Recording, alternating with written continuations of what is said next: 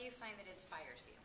For me, it's really um, questions that are lingering in my head about certain things. Um, I my my first this trilogy is based on an old friend of mine who actually disappeared when I was younger, and then he returned for like one day and then disappeared again.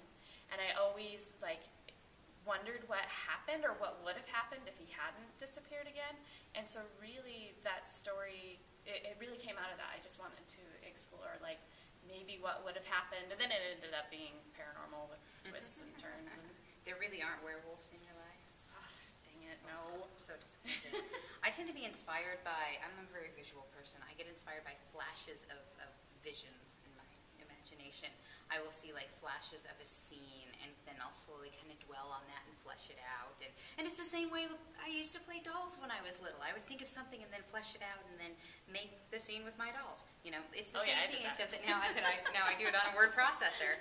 Um, but, but visual things, often little snippets of dreams that I remember, things that I think about. Often when I'm out running, I'll just think of, of visual things and um, turn them into a scene that then eventually becomes a story, that eventually becomes a book. Nice. So I know you're a writer and you enjoy being an author, but have you ever had a job that you just absolutely hated? I cleaned hotel rooms. I don't like to clean. I like to cook. I love to cook. I do not like to clean. I really don't like to clean. And so cleaning for like six or seven hours every day, I make a mean bed. I can tell you that. But boy, I hated doing all the time, constantly. And oh, it was just awful. I was so glad when that summer was over and that job was done.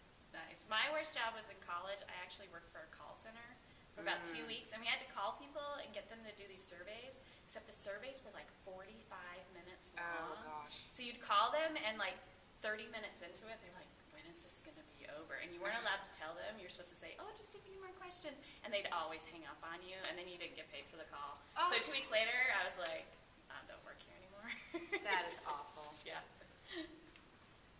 So we've had vampires and zombies. What do you think is next in YA?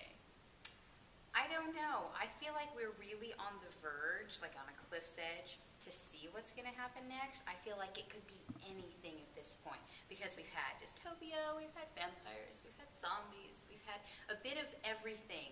And um, I'm really interested to see what's next. For me, I'm just continuing on the par- paranormal romance trail, more magic and kissing, because regardless of what comes next, that's what I